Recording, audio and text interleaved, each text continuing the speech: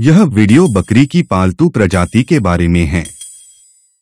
बकरी या घरेलू बकरी, कैपरा हिरकस, पालतू बकरी मृग की एक प्रजाति है, जिसे ज़्यादातर पशुधन के रूप में रखा जाता है।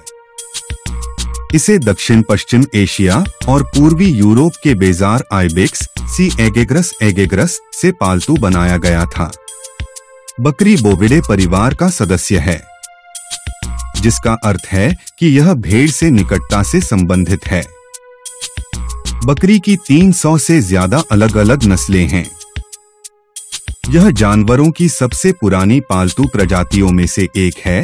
पुरातात्विक साक्ष्यों के अनुसार इसका सबसे पहला पालतूकरण ईरान में दस हज़ार साल पहले हुआ था। दुनिया भर में बकरियों का इस्तेमाल दूध, मांस, फर और खाल के लिए किया जाता रहा है। बकरियों के दूध को अक्सर बकरी के पनीर में बदल दिया जाता है संयुक्त राष्ट्र खाद्य एवं कृषि संगठन के अनुसार 2011 में दुनिया में 924 मिलियन से अधिक बकरियाँ थीं। सबसे हालिया आनुवंशिक विश्लेषण पुरातात्विक साक्ष्य की पुष्टि करता है कि जाग्रोस पर्वत के जंगली बेजार आइबेक्स आज सभी या अधिकांश पालतू बकरियों के संभावित मूल पूर्वज हैं नवपाषाण काल के किसानों ने जंगली बकरियों को मुख्य रूप से दूध और मांस तक आसान पहुँच के लिए पालना शुरू किया। साथ ही उनके गोबर को भी, जिसका उपयोग ईंधन के रूप में किया जाता था, और उनकी हड्डियों, बालों और नसों का उपयोग कपड़े, भवन और औजारों के लिए किया जाता था। वर्तमान से दस हज़ार साल पहले के पालतू बकरियों के सबसे पुराने अवशेष ईरान के गंज दारेह में पाए जाते हैं। जेरिको, चोगा मामी, जैतून और चायोनो में पुरातात्विक स्थलों पर बकरी के अवशेष पाए गए हैं, जो पश्चिमी एशिया में बकरियों को 8000 से 9000 साल पहले पालतू बनाने की तारीख बताते हैं। ऐतिहासिक रूप से, बकरी की खाल का इस्तेमाल पानी और शराब की बोतलों के लिए किया जाता रहा है, यात्रा करने और शराब को बेचने के लिए ले जाने में। इसका इस्तेमाल चर्म पत्र बनाने के लिए भी किया जाता रहा है। बकरी की प्रत्येक मान्यता प्राप्त नस्ल की विशिष्ट वज़न सीमा होती है, जो बोअर जैसी बड़ी नस्लों के नर बकरियों के लिए 140 किलोग्राम से लेकर छोटी बकरियों के लिए 20 से 27 किलोग्राम तक होती है। प्रत्येक नस्ल के भीतर अलग अलग नस्लों या रक्तरेखाओं के अलग अलग मान्यता प्राप्त आकार हो सकते हैं। पहले से ही महारत हासिल थी, लेकिन बाद में उसे संशोधित कर दिया गया। विशेष रूप से, जब एक बॉक्स पेश किया जाता है तो बकरी ढक्कन को हटाने और अंदर से एक ट्रीट लेने में सक्षम थी। लेकिन जब बॉक्स को इस तरह से घुमाया जाता था कि ढक्कन को हटाया नहीं जा सकता था तो बकरी मुड़कर व्यक्ति को देखती और उनकी ओर बढ़ती। फिर वापस बॉक्स की ओर देखती। यह उसी प्रकार का जटिल संचार है, जिसे पालतू जानवरों जैसे कुत्तों द्वारा देखा जाता है बकरियाँ नस्ल और पोषण की स्थिति के आधार पर तीन से पंद्रह महीने की उम्र के बीच यौवन तक पहुँचती हैं। कई प्रजन प्रजन को तब तक स्थगित करना पसंद करते हैं, जब तक कि मादा बकरी वयस्क वज़न के 70 परसेंट तक नहीं पहुँच जाती लेकिन व्यापक रूप से प्रबंधित खुले रेंज झुंडों में यह अलगाव शायद ही कभी संभव हो समशीतोष्ण जलवायु में और स्विस नस्लों में। प्रजन का मौसम दिन की लंबाई कम होते ही शुरू होता है और वसंत ऋतु की शुरुआत में या उससे पहले समाप्त होता है। भूमध्य रेखीय क्षेत्रों में बकरियाँ वर्ष के किसी भी समय प्रजन करने में सक्षम होती हैं। गर्भधारण की अवधि लगभग 150 दिन होती है। जुड़वा बच्चे आम परिणाम होते हैं। साथ ही एक और तीन बच्चों का जन्म भी आम है। कम बार चौगुने पाँच गुना और यहाँ तक कि छह गुना बच्चे भी होते हैं। जन्म जिसे किडिंग के रूप में जाना जाता है, आम तौर पर बिना किसी घटना के होता है। किडिंग से ठीक पहले। मादा की पूंछ और कूल्हे के आसपास एक धंसा हुआ क्षेत्र होगा, साथ ही भारी सांस भी होगी। वह चिंतित दिख सकती है, बेचैन हो सकती है, और अपने रखवाले के लिए बहुत स्नेह दिखा सकती है। दूध उत्पादन में आना आम तौर पर बच्चा देने के समय होता है। हालाँकि डेयरी नस्लों की बिना प्रजनित बकरियों में भी दूध का उत्पादन अपेक्षाकृत आम है। दूध का उत्पादन मादा बकरियों की नस्ल, उम्र, गुणवत्ता और आहार के साथ बदलता रहता है। डेयरी बकरियाँ आमतौर पर 305 दिवसीय स्तनपान के दौरान 680 और 1810 किलोग्राम के बीच दूध का उत्पादन करती हैं। औसतन एक अच्छी गुणवत्ता वाली डेयरी मादा दूध देने के दौरान प्रतिदिन कम से कम तीन किलोग्राम दूध देगी बकरियों के बारे में माना जाता है कि वे लगभग हर चीज़ खाने के लिए तैयार रहती हैं, जिसमें टिन के डिब्बे और कार्डबोर्ड के डिब्बे भी शामिल हैं। जबकि बकरियाँ वास्तव में अखाद्य पदार्थ नहीं खाती हैं, वे चरने वाले जानवर हैं न कि मवेशी और भेड़ जैसे चरने वाले और वे पौधे के पदार्थ से मिलते जुलते किसी भी चीज़ को चबाकर चख लेंगी और यह तय कर लेंगी कि क्या यह खाने के लिए अच्छा है जिसमें कार्डबोर्ड कपड़े और कागज़ जैसे टिन के डिब्बे से लेबल शामिल हैं बकरियाँ कुज्जू जैसे लताओं, झाड़ियों और खरपतवारों पर चरना पसंद करती हैं। भेड़ों की तुलना में हिरणों की तरह उन्हें घास से ज़्यादा पसंद करती हैं। नाइटशेड जहरीला होता है, मुरझाए हुए फलों के पेड़ के पत्ते भी बकरियों को मार सकते हैं हालाँकि बकरियों को आम तौर पर साहसी जानवर माना जाता है और कई स्थितियों में उन्हें बहुत कम चिकित्सा देखभाल मिलती है, फिर भी वे कई बीमारियों से ग्रस्त होती हैं बकरियों को प्रभावित करने वाली स्थितियों में निमोनिया सहित श्वसन संबंधी रोग खुरपका, आंतरिक परजीवी गर्भावस्था विषाक्तता और फ़ीड विषाक्तता शामिल हैं। फ़ीड विषाक्तता नस्ल और स्थान के आधार पर अलग अलग हो सकती है कुछ विदेशी फल और सब्ज़ियाँ बकरियों की विभिन्न नस्लों के लिए जहरीली हो सकती हैं। बकरियों की जीवन प्रत्याशा 15 से 18 वर्ष के बीच होती है। एक बकरी के 24 वर्ष की आयु तक पहुँचने का उदाहरण बताया गया है। कई कारक इस औसत प्रत्याशा को कम कर सकते हैं। बच्चा देने के दौरान होने वाली समस्याएँ एक मादा बकरी के अपेक्षित जीवन काल को 10 या 11 तक कम कर सकती हैं, और रटमे जाने के तनाव से एक बकरी का अपेक्षित जीवन काल 8 से 10 वर्ष तक कम हो सकता है।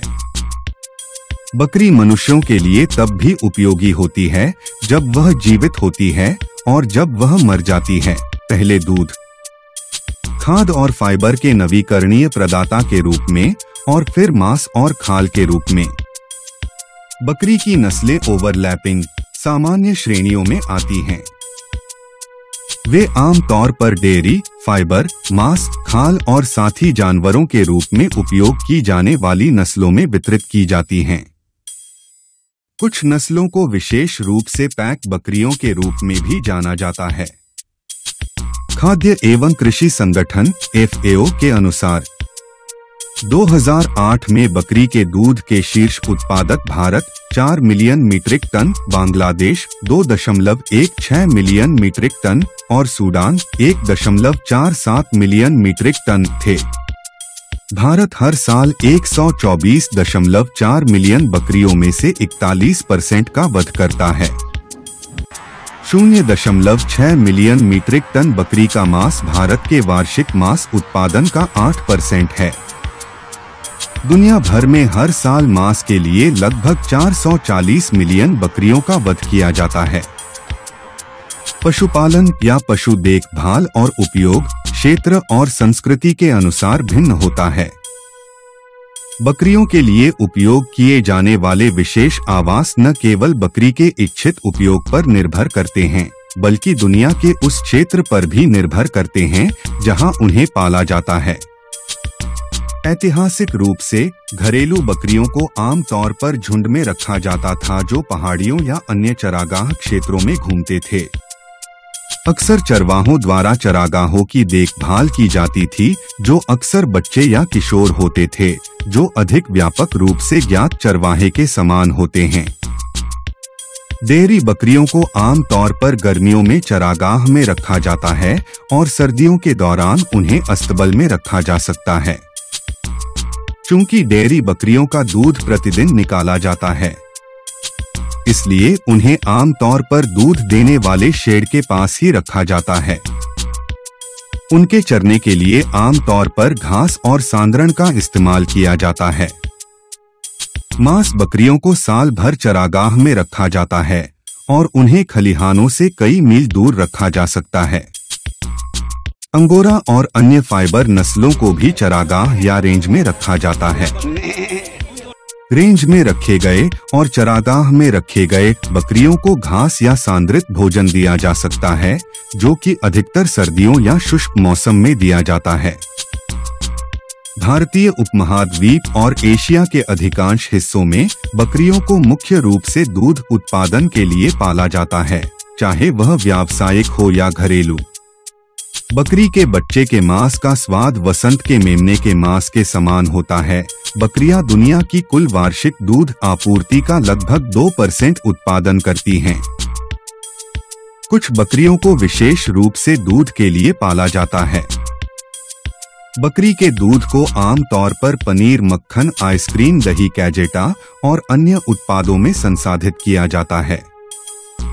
अमेरिकन एकेडमी ऑफ़ पीडियाट्रिक्स शिशुओं को बकरी से प्राप्त दूध पिलाने से मना करता है। अप्रैल 2010 की एक केस रिपोर्ट उनकी सिफारिश का सारांश प्रस्तुत करती है। यूनाइटेड किंगडम में स्वास्थ्य विभाग ने विभिन्न अवसरों पर बार बार बयान जारी किए हैं कि बकरी का दूध शिशुओं के लिए उपयुक्त नहीं है। हालाँकि, कुछ कृषि समूह इस प्रथा को बढ़ावा देते हैं। उदाहरण के लिए स्मॉल फार्म टुडे ने 2005 में अमान्य और स्वास्थ्य लाभ प्राप्त करने वाले आहार में इसके लाभकारी उपयोग का दावा किया। जिसमें प्रस्ताव दिया गया कि ग्लिसरॉल ईथर, जो संभवतः स्तनपान कराने वाले शिशुओं के पोषण में महत्वपूर्ण है, बकरी के दूध से बने उत्पाद बनाने वाले कुछ शोधकर्ताओं और कंपनियों ने दावा किया है कि बकरी का दूध अधिकांश पश्चिमी गाय के दूध की तुलना में मानव स्वास्थ्य के लिए बेहतर है। ज़्यादातर बकरियों की त्वचा के पास नरम इंसुलेटिंग बाल होते हैं और सतह पर लंबे रक्षक बाल होते हैं। कपड़ा उद्योग के लिए वांछनीय फाइबर पूर्व है। सदियों से बकरियों का इस्तेमाल इंसानों द्वारा अवांछित वनस्पति को साफ़ करने के लिए किया जाता रहा है। उन्हें खाने की मशीन और जैविक नियंत्रण एजेंट के रूप में वर्णित किया गया है। चूँकि बकरी की शारीरिक रचना और शरीर विज्ञान मनुष्यों से बहुत अलग नहीं है इसलिए कुछ देशों की सेनाएँ युद्ध के चिकित्सकों को प्रशिक्षित करने के लिए बकरियों का उपयोग करती हैं। कुछ लोग बकरियों को पालतू जानवर के रूप में इसलिए चुनते हैं क्योंकि वे अपने मानव अभिभावकों के साथ घनिष्ठ संबंध बनाने की क्षमता रखती हैं। आकार सीमा के निचले हिस्से में अफ्रीकी पिग्मी जैसी छोटी नस्लें हैं, जो वयस्क होने पर कंधे पर 41 से अट्ठावन सेंटीमीटर तक होती हैं। अधिकांश बकरियों में स्वाभाविक रूप से दो सींग होते हैं, बकरियाँ जुगाली करने वाले जानवर हैं। उनके पास चार कक्षीय पेट होता है, जिसमें रुमेन, रेटिकुलम, ओमासम और एबोमासम शामिल होते हैं। अन्य स्तनधारी जुगाली करने वाले जानवरों की तरह, वे भी खुर वाले होते हैं। मादाओं के थन में दो थन होते हैं, जबकि मवेशियों के थन में चार थन होते हैं। इसका अपवाद बोअर बकरी है, जिसमें कभी कभी आठ थन तक हो सकते हैं। बकरियाँ द्विगुणित होती हैं और उनमें साठ गुणसूत्र होते हैं। एस एल सी ग्यारह एक जीन बकरी के गुणसूत्र दो पर स्थित होता है। बकरियाँ स्वाभाविक रूप से जिज्ञासु होती हैं। वे चुस्त भी होती हैं और खतरनाक जगहों पर चढ़ने और संतुलन बनाने की अपनी क्षमता के लिए जानी जाती हैं। यह उन्हें नियमित रूप से पेड़ों पर चढ़ने वाला एकमात्र जुगाली करने वाला जानवर बनाता है। अपनी चपलता और जिज्ञासा के कारण वे बाढ़ और बाड़ों का परीक्षण करके अपने बाड़ों से भागने के लिए कुख्यात हैं, या तो जानबूझकर या बस इसलिए कि उन्हें चढ़ने की आदत है। यदि किसी भी बाढ़ को पार किया जा सकता है तो बकरियाँ लगभग अनिवार्य रूप से भाग जाएँगी कुछ अध्ययनों से पता चला है कि बकरियाँ कुत्तों जितनी ही बुद्धिमान होती हैं। जब समूह में संभाला जाता है तो बकरियाँ भेड़ों की तुलना में कम झुंड व्यवहार प्रदर्शित करती हैं। जब वे बिना किसी बाधा के चरती हैं, तो वे भेड़ों की तरह साथ साथ चरने के बजाय पूरे खेत या रेंज में फैल जाती हैं। जब बच्चे को दूध पिलाती हैं, तो बकरियाँ अपने बच्चों को अलग अलग छोड़ देती हैं। बजाय झुंड में रहने के जैसा कि भेड़े करती हैं। क्वीन मैरी यूनिवर्सिटी द्वारा किए गए एक अध्ययन में बताया गया है कि बकरियाँ लोगों से उसी तरह से संवाद करने की कोशिश करती हैं जैसे कि कुत्ते और घोड़े जैसे पालतू जानवर करते हैं। बकरियों को पहली बार दस हज़ार साल से भी पहले पशुधन के रूप में पाला गया था। संचार कौशल का परीक्षण करने के लिए किए गए शोध में पाया गया कि बकरियाँ किसी चुनौती का सामना करने पर सहायता के लिए मनुष्य की ओर देखती हैं। हमारी वीडियो अच्छी लगी हो तो लाइक करें, शेयर करें। ऐसी जानकारी भरी वीडियो देखने के लिए चैनल को सब्सक्राइब करना ना भूलें।